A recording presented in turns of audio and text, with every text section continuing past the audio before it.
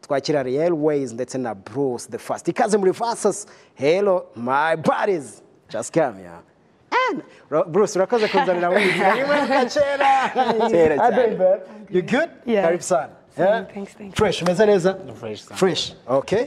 Nice. Icharira hagati. Noneho Bruce yicarira hano. Wicaye hariya cyangwa Ariel yicarira sinzi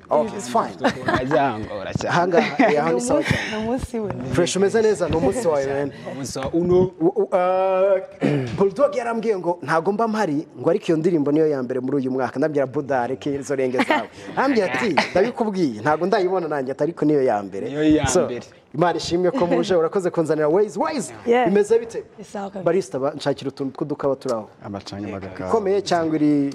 Njye iri. Ye- yoroshye yoroshye nice. Yoroshye fresh. So bimeze bite? Ni sawa? Ni sawa kabisa. Shawe ni sawa cyane. Aracyabitekereza ni neza cyane. Njye birakubiye. Imana ishimwe. So thanks for coming. Uh, imana ishimwe ko uyu munsi mfite uno brand new song uh, ways uh, bruce the first ari kumwe na bulldog. Aba ari ikintu cyiza cyane. Reka mbere kuri ways. Um, gushyira hamwe kuri we bitanga iki? Gushyira hamwe bitanga uwuhe musaruro? Let's start from there. njye ndumva igisubizo ari ijambo rimwe. Gushyira hamwe bitugeza ku iterambere. Big time nta kindi kintu. Ko uh, niba nzanye icyo mfite nawe ukazana icyo ufite uraba umfashije ngo ufashe. So we go together dutere imbere hamwe. That's how i think. Urakoze cyane. Uh, uyu munsi ni umunsi wa bruce the first nk'uko umaze kubivuga. Uh, ndagira ngo umudescribing uvuge uwo ari we live kuri kamera n'abanyarwanda babibona. Nawe yiyumve. Here we go my baby girl. Um, so Bruce ni um- ni umusani he's a big star superstar. Okay. n'abantu ba- benshi eh, baramukunda cyane afite igikundiro akora umuziki mwiza. Ni umuntu mwiza no mu buzima busanzwe. Buriya ntuka- ntukagire ngo tuba twakoze indirimbo gutyo.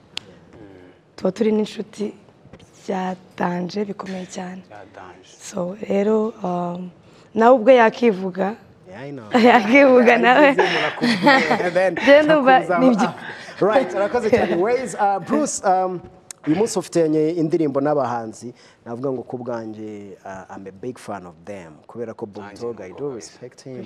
A legend kandi ugikora umuziki. Uyu munsi navuga ko hari byinshi agomba gukora still agikora. Uh, Ariel Ways she struggled ariko uyu munsi still she's there she's doing music. Aba ari ikintu cyiza. Is not for the first time aje muri verses kandi buri gihe yaje ibintu byiza kandi bishyashya.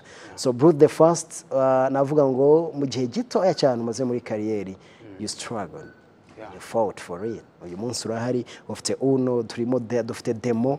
Ah, bro, n'izindi zitaraza. Urakoze cyane. Ntekereza ko ni industry ufite icyo wavuga ah, ni- iki wavugaho kuri Bruce the First uyu munsi uri kumwe na Ways uri kumwe na, Bulldog. Ikintu navuga kuri Bruce the First ni umuhanzi uri gukora cyane tu. Kugira ngo agere ku byo yifuza kandi njye nizerera mu gukora kandi nkakora n'ibintu byiza. None ikintu navuga nko kuri Ariel Ways na Bulldog ni abantu nitabaje kuko nzi neza ko bafite ibintu nkeneye kandi birenze biri big. Nanjye nk'uko bivuze ndabafana tu. Iyi movement ubona iterwa ishema n'iki? Ibyo bakora cause rimwe na rimwe hari igihe ujya no muri konseri batumiye umuntu umwe ugasanga ni bose barahari kandi baraperformingana. Yeah. nta kibazo. Ubona biterwa n'iki? Nihe secret iri behind this thing? Um, I feel like it's ni urukundo rw'umuziki dufite. Ni rwo rwa mbere dushyira imbere. Niyo waba ufite ikibazo n'umuntu ariko you know you guys music. doing music. That's work. Niba indirimbo nyirimo uh, Bruce the First akaba ari mu gitaramo bamutumiye kuki se naza ngo mushyigikire ni the same thing nk'uko iyo sure. Video twayishutinze I was there so I have to be there ni byo bindi. So I feel like ni ibintu abahanzi nyine we have to understand it. Ntabwo nyine biterwa nanone ukuntu ubanye n'abantu. of course yeah. So uh, I feel like ni movement nziza yerekana itandukaniro. Kandi bikakwereka ko n'abantu baba bari kumva ibihangano byacu nubwo tubibari izindi vibe nshyashya ni bwo zibagora ariko nyine ukabona people are really vibing it with regardlessly nyine ubona nyine ari ibintu byiza kabisa. Hari undi muvandimwe nshaka kuzazana vuba bamwita Endestizo?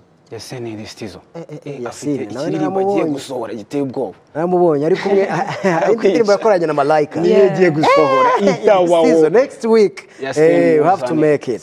Uh, ndagira ngo umbwire experience wenda na Ariel Ways araza kumbwiraho gatoya. Ya demo. Ya demo? Eh. Njye n'ubu ngubu demo sinzi. Tu- demo wavuga ni indirimbo nshyashya ni ikintu gishyashya mu banyarwanda. Sure. ni ubwa mbere bari bumvise nk'umuhanzi wanditse ibintu bimeze kuriya ariko ni ibintu nyine byasabye ubuvanganzo. Nje byanyeretse ko umuziki ntabwo bisaba ngo ngumenye ibintu abantu bavuga? Reka. Reka ariko hari n'abantu twayivibinze hari abantu bayumva. Eh? hari abantu bayumva. Kuko bifite ubusobanuro. Bifite ubusobanuro burebure ariko ni ikintu gishyashya nyine twe tuzaniye abanyarwanda hari n'izindi zizasohoka wenda. Ziri muri rasitire tu. Ni style yazanywe nande? Ah, idea yazanywe na sagamba. Okay. Araza duhuriza hamwe twese. Nyine yashakaga murumva izindi mbaraga tu. Of course. Eh, duhuriza hamwe muri studio. Mpita mpamagara Ariel mbwira Kivumbi.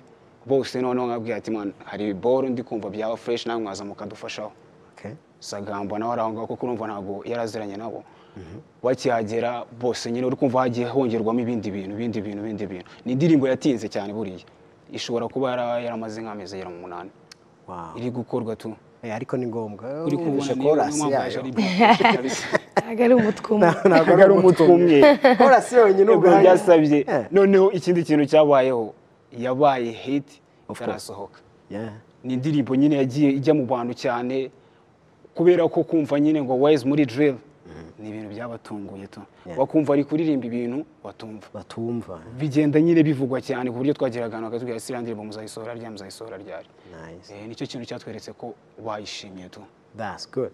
A- a- Ariel niyo experience uyifiteho na na na crew nabo mwayikoranye icyo wibuka ukavuga ati at least we made it. Oh, um, icya mbere nyine nk'uko bivuze ni ubufatanye cyane kuko iriya chorus nyine n'ubundi abantu benshi baba bambaza ni ibiki ni ibiki but it's not something nagusobanurira njyenyine it's something we have to be together kugira ngo icyo kintu cyumve genge Ubundi nashakaga ngo iriya gang sinzi igihe nzabikorera. Ariko Tuzabikora. kuri second project imeze kuriya tuzabikora. Eh, eh, eh, Buri wese aza zone. ambwira ibye noneho tuze kubishyira tuze gutanga indangamanota.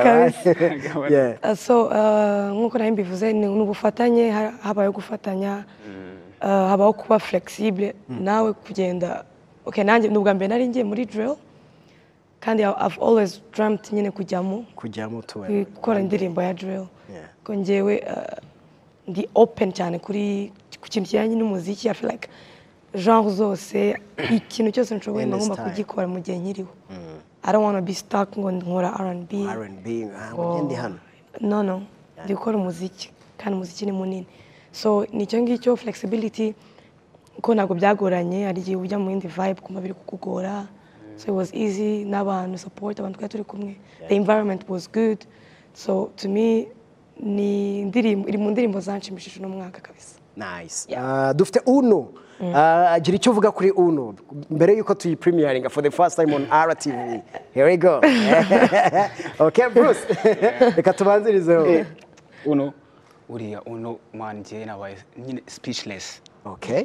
nabuze n'ibyo navuga tu kuko ni projet nanjye ihora intungura muri muri projet numvise igihe kinini mpora nyitekerezaho n'abantu n'umuntu wayumva agahita ambwira ati iyi ndirimbo tu iturize Okay. uraje uyirebe ibindi turabivuga wayibona Ways Uno ni cyo wayivugaho mbere yuko director ambwira ngo here we go. Tell me. uno ifite ifite message uh, ijyanye n'ibintu byari bimaze iminsi biri kuba Okay. But I love that. the crazy thing the, and the, uh, it's a coincidence. Kuko twayikoze Mwabirekodinze mbere. before by the way. before that. It was before that but nyine urumva ni ibintu byari biturimo tu.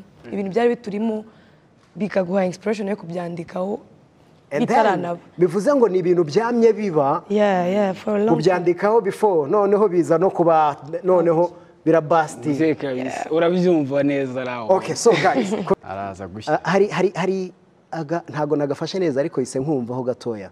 Nturi lit utarampesa oya. Oya.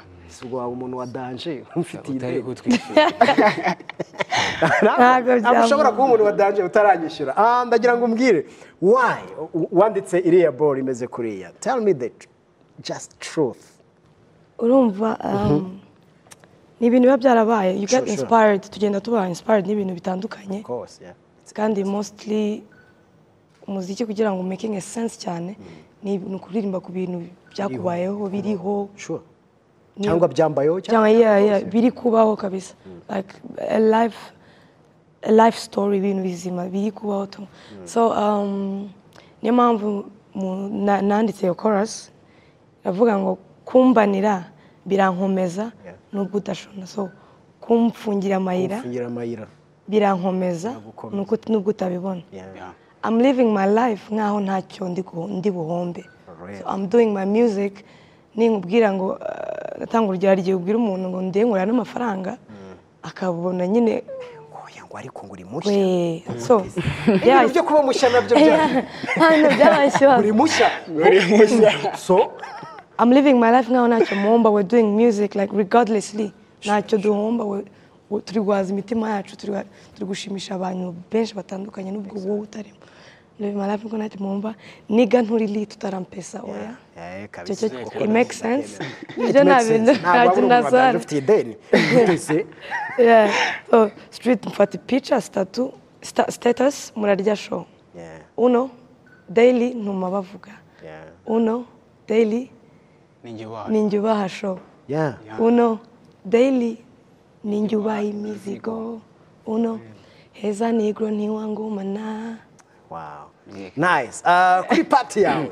Here we go, my brother. Ndakubwira ngo we got a city on lock ubaze amakuru ntitukiri block Yeah. ntabwo tugifite ubukere bimwe bavugaga ku baraperi ku bahanzi Oh, ubaze amakuru ntitukiri block ndi na kimo ndacyafana tafu twiyambaza alanga dute kuri Love. revolution zanye solution bimwe byitwa muzika pollution. Ndagufite ndagukina double. Icyana gapepa imikino ni koto. Ra.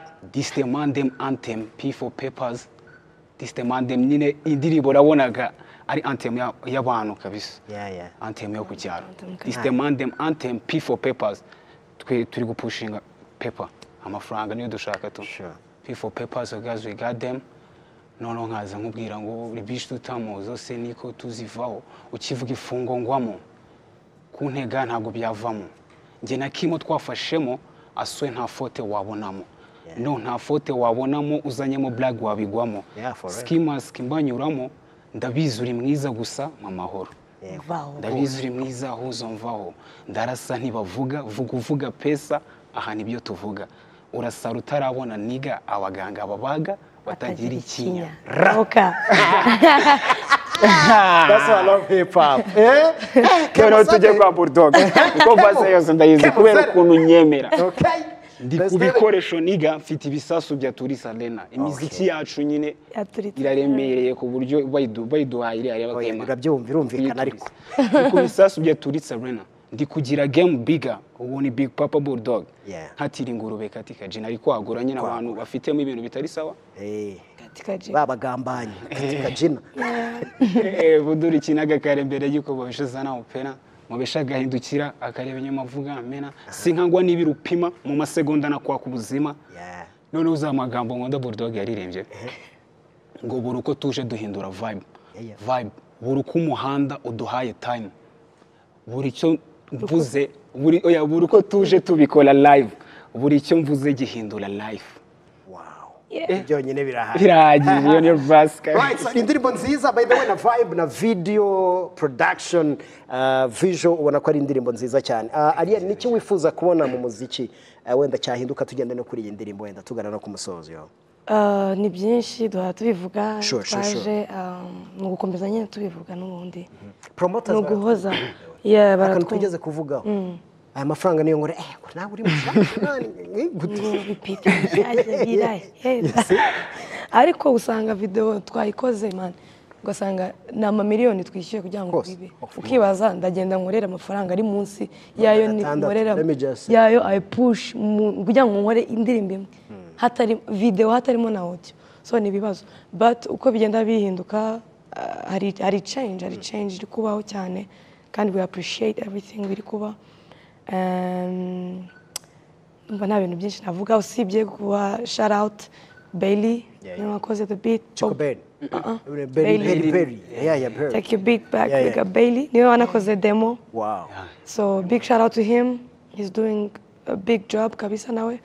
Uh, na Bob Pro of course Yeah, yeah. the big papa. uh, Nkotanyi the director. Crazy. Boy chopper. Big shout out to him. Boy chopper. Chopper. niwe wachopinze ariya mashusho kabisa kayatsa kuri ariko so big shout out to the I, team. I think next week imana nimfasha nyeneye kuba mfite berry mfite inkotanyi sinzi ko yanyemerera biragoye Nkotanyi muri interview biragoye ariko nzagerageza and then mfite na na, na, na chopper right? Yeah. yeah i think byaba ari show nziza cyane kuko uno ibintu bayikoreye biteye ubwoba nice. Uh, video nziza. Ni, iki wa- wa- wabwira umunyarwanda still uyu munsi uri gushyigikira umuziki uri guha agaciro umuziki nyarwanda n'abanzi nyarwanda. Ikintu namubwira ni ugukomeza agapushinga ibintu dukora. Kuko dufite tw- natwe twabonye style turi gukora ibintu bitandukanye n'iby'abanyamahanga natwe. Hari hari ibyo turi kugerageza kwizanira muri je nka east africa nta kintu wambwira. East Africa turabifite kare kare. Yacu. video za zarenge zaho ngaho hakurya. Noneho urumva niba turi gukora ibintu byacu kandi birenze bishobora kuba byaba byaba worldwide. Kandi tubifashijwemo n'abantu n'abantu bacu. Bakomeze badupushinge batwereke urukundo. Natwe n'imiziki myiza.